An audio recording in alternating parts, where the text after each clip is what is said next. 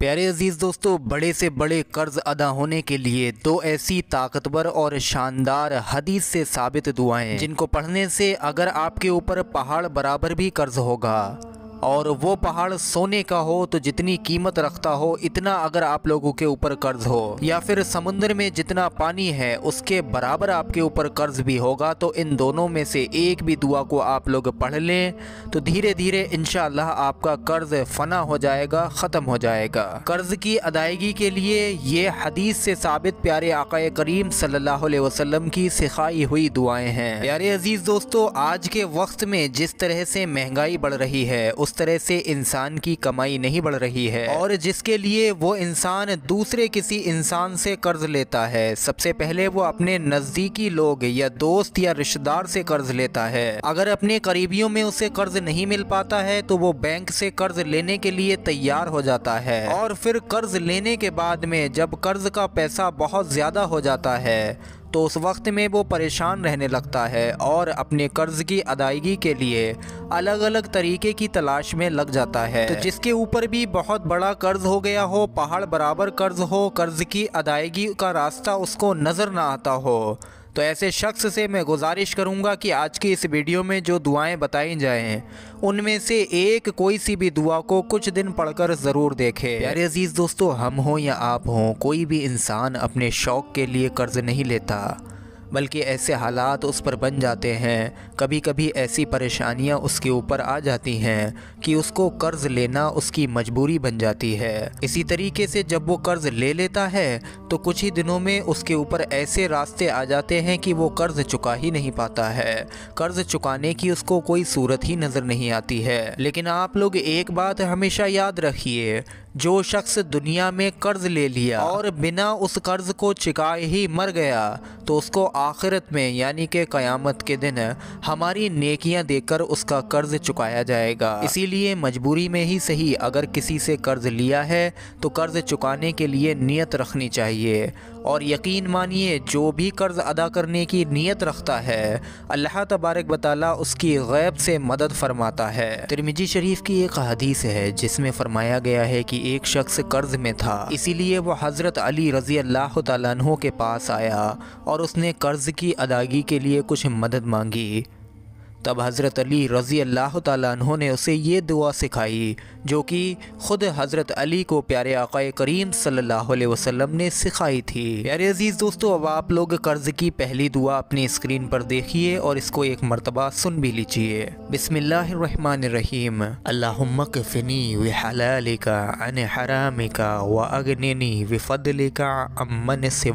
फिर से देखें एक मरतबा।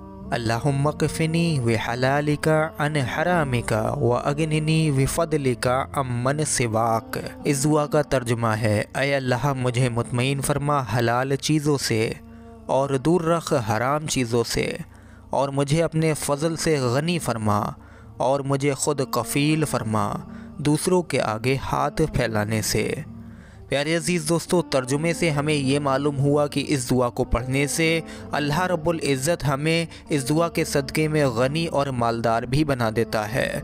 यानी इस दुआ के पढ़ने से आपका कर्ज़ तो अदा होगा ही। साथ के साथ में आप जो भी काम करेंगे, मेहनत तो ज़रूरी है प्यारे अज़ीज़ दोस्तों, मेहनत तो करना ही पड़ेगी। तो जो आप काम करेंगे, उसमें भी खूब अल्लाह रब्बुल इज़्ज़त की बरकत आएगी। इस दुआ को पढ़ने का तरीका ये है कि आप लोगों को इस दुआ को सुबह और शाम पढ़ना है। है तादाद इसकी ग्यारह मरतबा है। आप लोग ग्यारह मरतबा सुबह में उठकर पढ़ें और ग्यारह मरतबा शाम में पढ़ें। मुद्दत इसकी, प्यारे अज़ीज़ दोस्तों, कोई भी नहीं है। जब तक आप लोगों का कर्ज़ ना उतर जाए, रोज़ाना आप लोग इसी तरीके से पढ़ते रहें। इन तबारक बताला, आप लोगों का बहुत जल्द कर्ज़ अदा हो जाएगा। और एक बात ध्यान में रखें कि इस दुआ को पढ़ते पढ़ते ही आप लोगों का कर्ज़ दूर होता चला जाएगा। यानी कि आपको इसके फ़ायदे चंद दिनों में ही देखने को मिल जाएँगे। अब प्यारे अज़ीज़ दोस्तों, एक और दुआ आप लोग कर्ज़ से निजात की सुनिए। उससे आप लोगों की तमाम गम भी दूर होंगे, परेशानियाँ भी दूर होंगी। आपका कोई भी गम हो, दुख हो, तकलीफ़ हो, मुसीबत हो, परेशानी हो, या कैसे भी बड़ा या छोटा कर्ज हो, यहाँ तक कि आप ये समझें, ये दुआ हम लोगों के दिमागों में चल रही टेंशन से निजात का ज़रिया है। एक मरतबा हज़रत अबू मामा रज़ी अल्लाह तु मस्जिद में तशरीफ़ फरमा थे नमाज़ का वक्त भी नहीं था, वो आड़े वक्त में मस्जिद में मौजूद थे। तब वहाँ से प्यारे आकाए करीम सल्लल्लाहु अलैहि वसल्लम का गुज़र हुआ। तो देखा आकाए करीम सल्लल्लाहु अलैहि वसल्लम ने हज़रत अबू मामा रज़ी अल्लाह तहो मस्जिद में बैठे हुए हैं। गमों से निढाल है, चेहरा उतरा हुआ है। तो सरकार सल्लल्लाहु अलैहि वसल्लम ने फरमाया, अबू मामा ये नमाज़ का वक्त भी नहीं है और तुम मस्जिद में मौजूद हो और चेहरा भी कुछ बुझा बुझा सा लगता है। सब खैरियत तो है तो वो क्या अर्ज़ करते हैं? या रसूल अल्लाह सल्लल्लाहु अलैहि वसल्लम, समझ में नहीं आता, गम मुझे बहुत ज़्यादा हैं। और मैं कर्ज़ में डूबा हुआ हूँ। और कर्ज और गमों से निकलने की मुझे कोई सूरत यानी कि रास्ता नज़र नहीं आता। तो प्यारे आकाए करीम सल्लल्लाहु अलैहि वसल्लम ने फरमाया कि क्या मैं तुम्हें एक ऐसी दुआ ना बताऊँ जिसे पढ़ने के बाद कर्ज भी उतर जाए और तुम्हें सुकून भी नसीब हो जाए? तब सरकार ने फरमाया, ये दुआ पढ़ो। प्यारे अज़ीज़ दोस्तों, दूसरी दुआ अब आप लोग अपने स्क्रीन पर देखिए और इसको सुनिए। बिसमीम इन्नी आउज़ुबिका मिनल हम्मी वल हज़नी, व आउज़ुबिका मिनल आजज़ी वल कसली, व आउज़ुबिका मिनल जुवनी वल वखली, व आउज़ुबिका मिन गलवत दैनी व कहर रिजाल। ध्यान से एक मरतबा और सुनिए।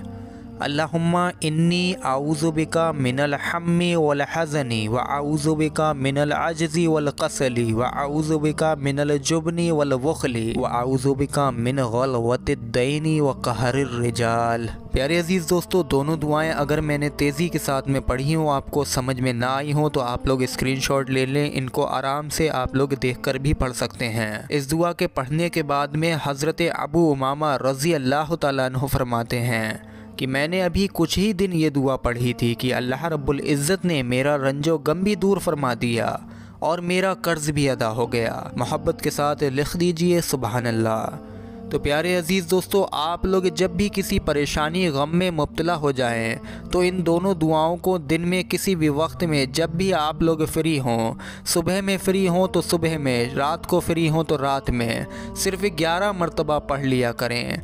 आगे पीछे तीन तीन मरतबा दरुद पाक भी आप लोग पढ़ सकते हैं। इन आपका हर गम, हर तरह की परेशानी, हर तरह की मुसीबत और बड़े से बड़े पहाड़ जैसे कर्ज से भी निजात मिलेगी। और आप आपकी ज़िंदगी में तरक्की और उरूज आएगा। आपके काम बनने लगेंगे, आपके कामों में खैर बरकतें आ जाएँगी।